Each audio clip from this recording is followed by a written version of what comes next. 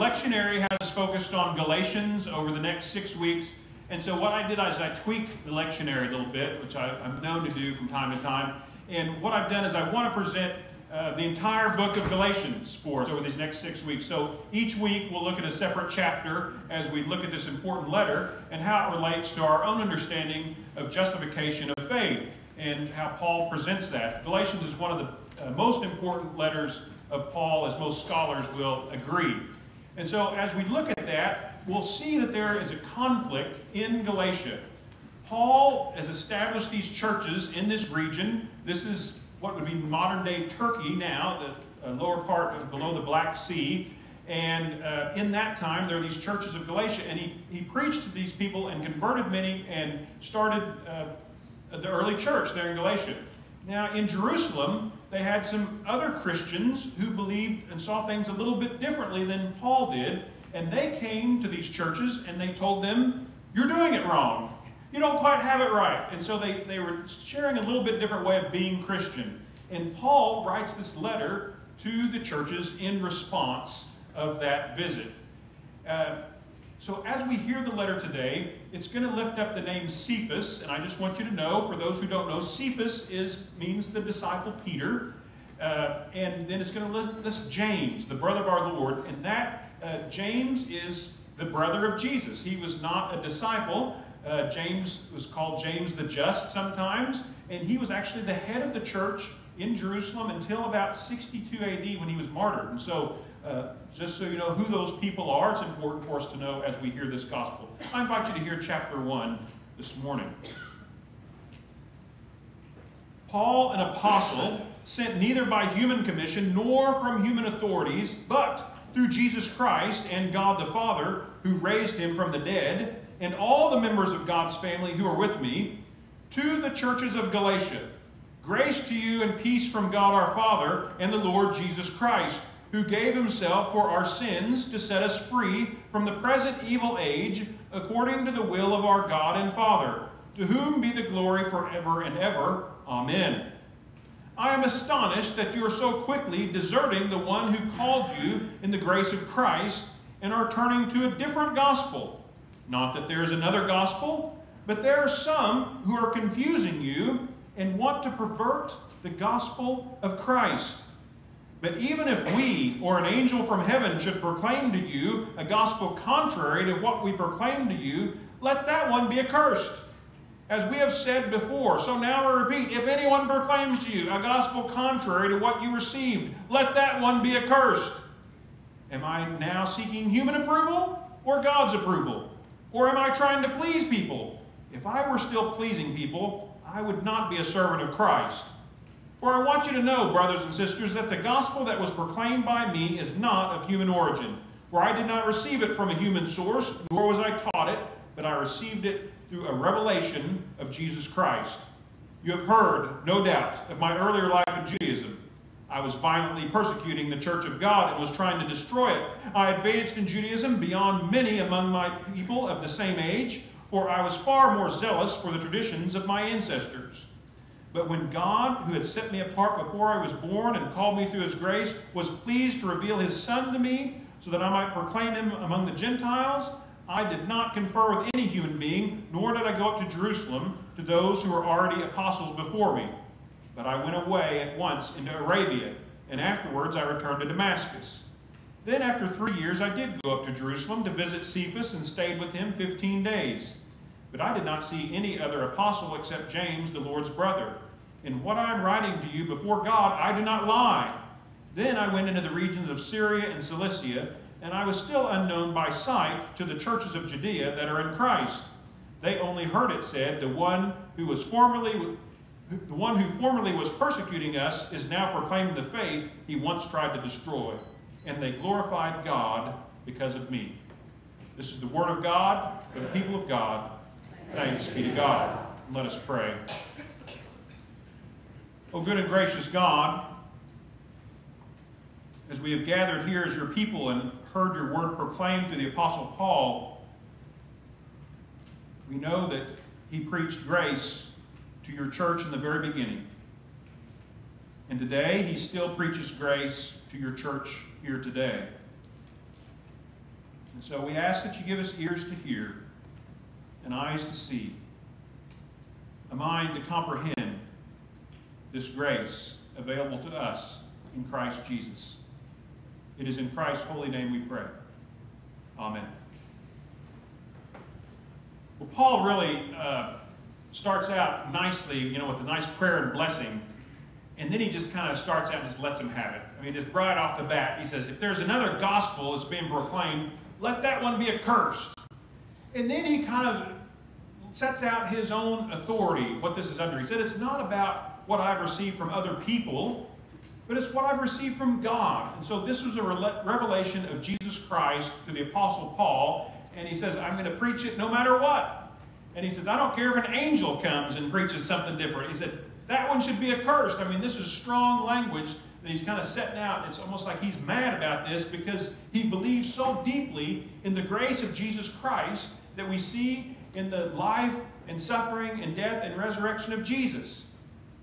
And so what we have is these other Christians who are also deeply faithful to the gospel of Jesus Christ coming and saying, no, but this is what's important for salvation.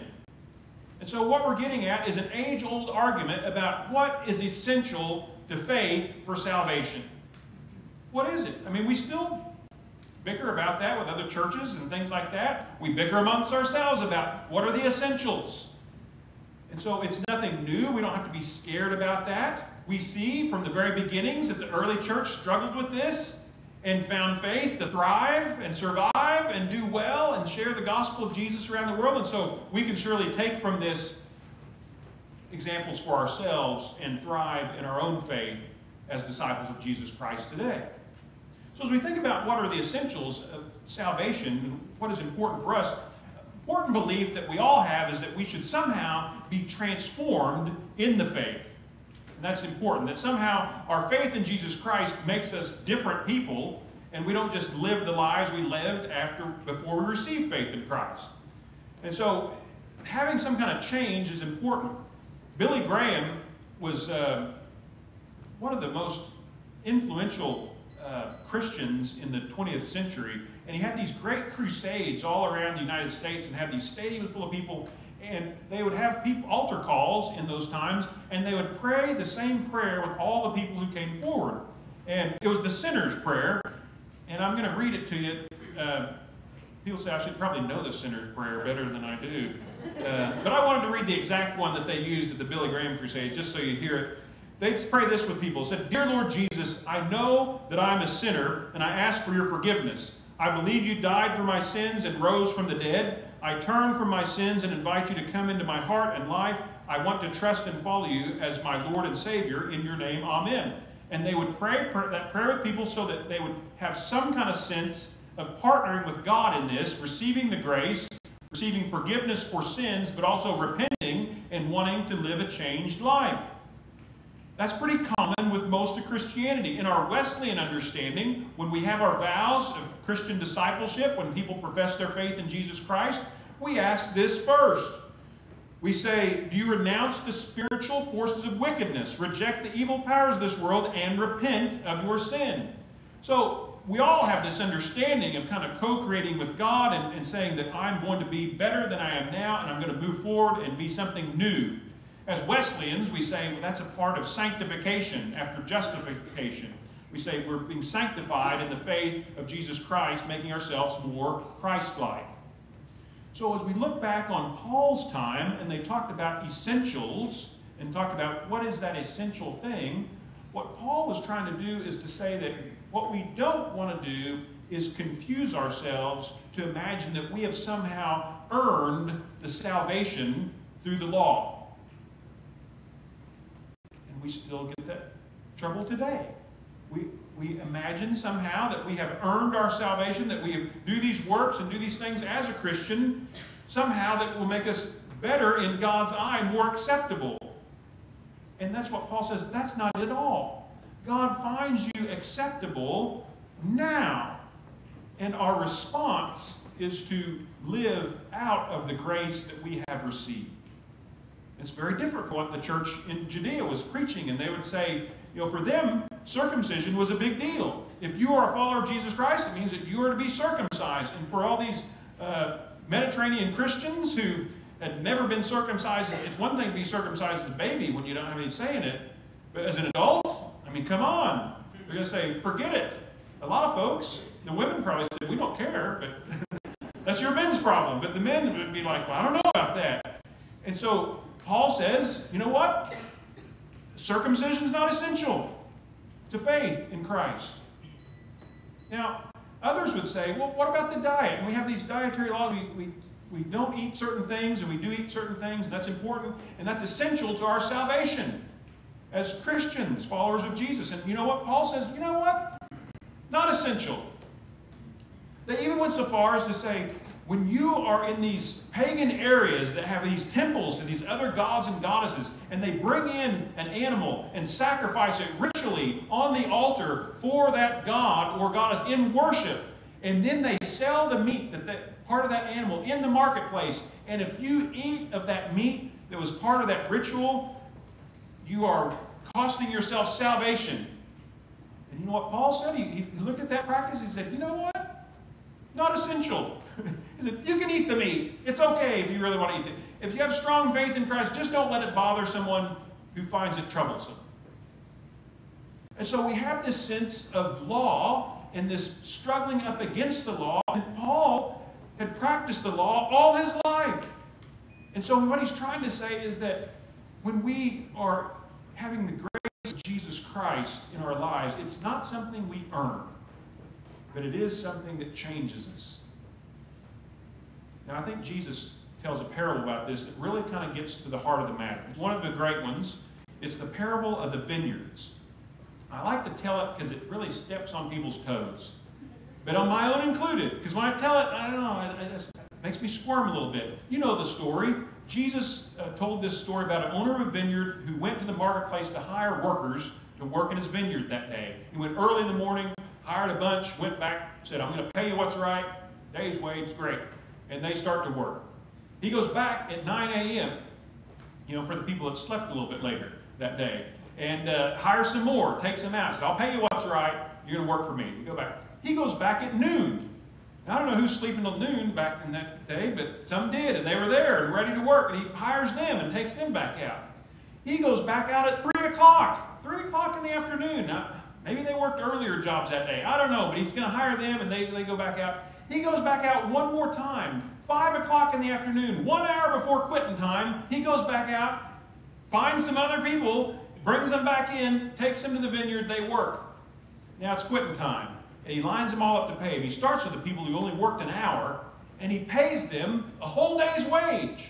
Well, you can imagine the others who worked all day are thinking, woohoo, jackpot, you know, we're going to get paid a lot. But he went down and paid the same amount to every single person, including the people who worked all day long. Now, if you were one of the ones who worked all day, and you saw somebody working an hour and get paid the same as you, what would you say? Would you like it? Absolutely not. Absolutely not. It'd make you mad, wouldn't it? I'd be mad. That's exactly right. We'd all be upset. And that's what the parable shows. They start to grumble at the owner and they say, and this is the important word that says, You have made them equal to us who have borne the scorching sun and the heat of the day. You hear that word? You have made them equal to us. And the owner says, Look, it's my money. Are you, are you upset because I'm generous with these others? Can I do with my money what I want to do with it? That's it. That's the parable. Does it make you squirm a little to hear it? I do. I squirm just listening to it. Let me say, this is not a good business practice. That's not why he told it. He didn't tell it to be, uh, you know, you think, why did Jesus tell this awful story, you know, to us, to hear this? Why did he tell it, church? It's to understand that grace is nothing we earn, that grace is given freely by God. It's a gift. It's difficult for us to kind of put that into action as a church. And yet that's what Paul seems to be saying to the churches at Galatia and to us today is that, look, this is the gospel. Take it or leave it. This is it. Can you understand it? There's a little church in Oklahoma, uh, small town Oklahoma, uh, years ago, and this little church was thriving in ministry and, and doing well, and, and they had a good congregation. It was, had a lot of people in town, a good mix of ages. They had one family that was very generous and kind of well off in town, and they gave a little over half the whole budget throughout the year. And so they're doing fine, but this family kind of let other folks know that they gave. You know, they wouldn't actually say how much, but they just kind of dropped little hints in conversations where it kind of elevated people's ideas about them. They're like, well, they must really give a lot. And some people thought they must give like 80% of the whole church budget. You know, they had elevated in their minds that it's a huge amount, but it was still a good amount. I do want to say, if, if they if they gave the entire budget, they never would have missed it out of their living or their lifestyle. They could have done it, and never would have missed it. They wouldn't have driven any different cars, gone on any different vacations, had a different house, or anything like that. They would have been just fine. But they gave a little over half, which was good. So as, as you think about and consider the kind of authority that that person had, or that family had in that church, it was, it was pretty big. Because people looked at them and thought, well, we don't want to anger them.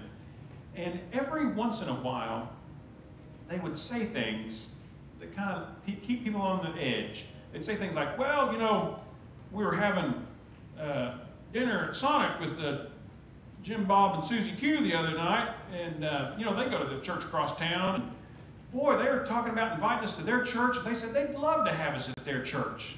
They've got a good church over there. Now they wouldn't they wouldn't go anywhere, but they just kind of drop that, you know, once in a while, say that kind of thing. So you think, oh, you know, we want to, don't want to make them mad, don't want to send them down the road.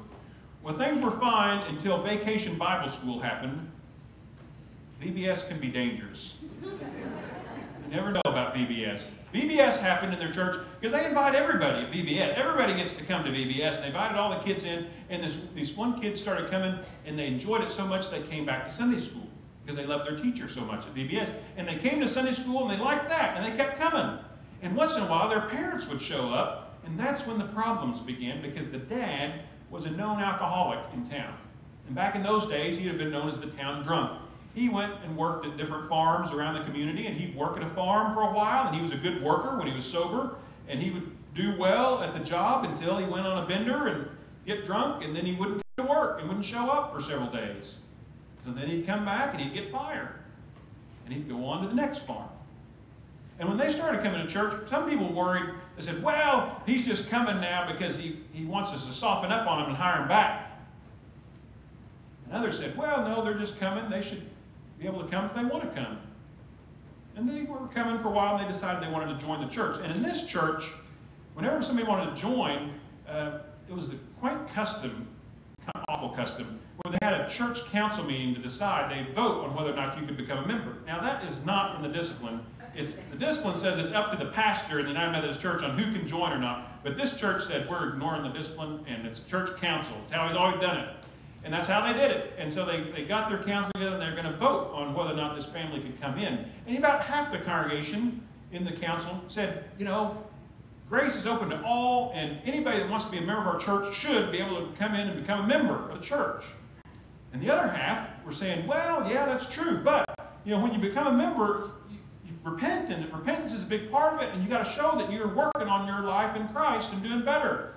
And so, you know, if he's still getting drunk all the time, is he really repenting? So, well, you got a point there. So they went back and forth on this, and finally they turned to Mr. Budget, you know, the authority, and they said, What do you think? And he stopped for a minute and kind of paused. And, well, you know, I kind of side with that idea that he ought to be sober. He said, Tell you what, if he's sober for a year, and can show us that he's changed his life in Christ, and they still want to join the church, we can have another council meeting in a year, and then we can decide. So then some of the folks that were all for including him, they said, well, maybe he's got something there, and they changed their votes, and that's what they did. They said, we got to wait. But the council didn't tell the family. They made the pastor do it. and well, the family quit coming church. And pretty soon, he ran out of farms he could work at, and they moved on down the road, went somewhere else. Today, that church is on life support. It's a second church of a two point charge. And the family that had all the influence in that church finally followed through on their threat, and they moved on down the road to another church. What does it mean the essentials of salvation? what does it mean to understand grace in our lives where we understand it and we can not only understand it, but project it to the world? How do we share that grace as the people of God to say, this is who we're going to be? Come hell or high water, we're going to love each other. It's hard. And it steps on our toes. And yet, that's what Paul seems to be telling us today. You know, Tom Hanks has a new movie out, uh, Hologram of a King, I think so. I haven't seen it yet, but I hear it's good. All, I like all Tom Hanks movies. He's one of the you know, most beloved actors of our times. And in this movie, he plays a guy who's a businessman who's got this deal going on in Saudi Arabia where he can, deal of a lifetime kind of thing. And this movie kind of has this point where you get in your life and no matter what decisions you've made or how successful you are, you come to a point where you say, how did I get here? and you have some kind of self-doubt and some kind of those, those movements that go on in life for maturity. And we that movie, and Hank said that he really identifies with this character about that kind of self-doubt. He says, you know, I doubt myself all the time, and can I do this? What if people find out I'm a fraud and I'm really not as good as they think I am? This is Tom Hanks saying this. You know, he's won the Academy Award twice and been in dozens and dozens of good films. And so you wonder, how can he doubt himself? And yet he does. He says this specifically. I wanted to quote him. He writes this about himself. He says, It's a high wire act that we all walk. There are days when I know that 3 o'clock tomorrow afternoon, I'm going to have to deliver some degree of emotional goods on camera. And if I can't do it, that means I'm going to have to fake it. And if I fake it, that means they might catch me faking it. And if they catch me faking it, well, it's doomsday. Now, as I think about that message, I think about what Paul is preaching to the Galatians. And what Paul seems to be saying is that if you buy into this other gospel that includes every iota of the law, eventually, at some point, you're going to have to be faking it. And he says, wouldn't you rather embrace the gospel of Jesus Christ, where you can be real, where you can be yourself all the time? Well, it's hard to be myself all the time. And it's hard to be real all the time. That is hard to handle. But it is authentically Christian or at least it should be. Amen.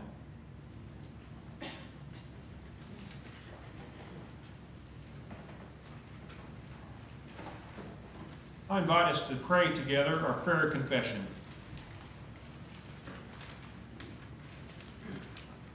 Gracious God, we gather today like the psalmist, declaring that we believe that we have walked in integrity we also believe that we have walked in faithfulness, avoided hypocrites, and shunned the company of evildoers.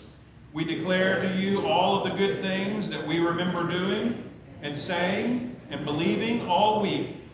But just in case our level of integrity is not the same as yours, we, like the psalmist, say, Prove us.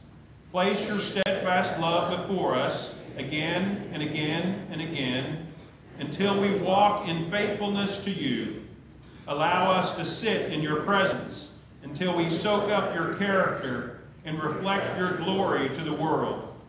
Prove us, try us, test our hearts and minds until our faith is able to stand sure-footed on solid ground. Then prove us again and again until you are satisfied.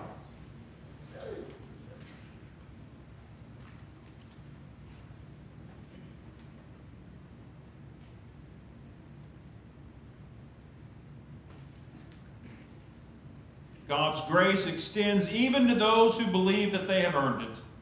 May we all bask in the grace of God which surpasses our understanding. Amen. And let us affirm our faith in God and Jesus Christ and the Holy Spirit. Let us share in this faith together. We believe in the Most High God, who strengthens us and repays us more times than we expect. We believe in God who gives generously and who expects the same from all of us. We believe in God whose utmost loving sacrifice is experienced through Jesus Christ, who gave it all. We believe that Jesus Christ consciously and lovingly emptied himself so that we may learn to sacrifice and live joyfully before God. By Christ's impartial love, we learn to love all those on the margins. We believe in the Holy Spirit who enables us to share the faith of Jesus Christ with the world. We believe that by the power of the Holy Spirit, the church becomes a new community without labels. We believe all has been accomplished for deliverance and salvation and is now being lived in flesh, even as God is glorified in heaven.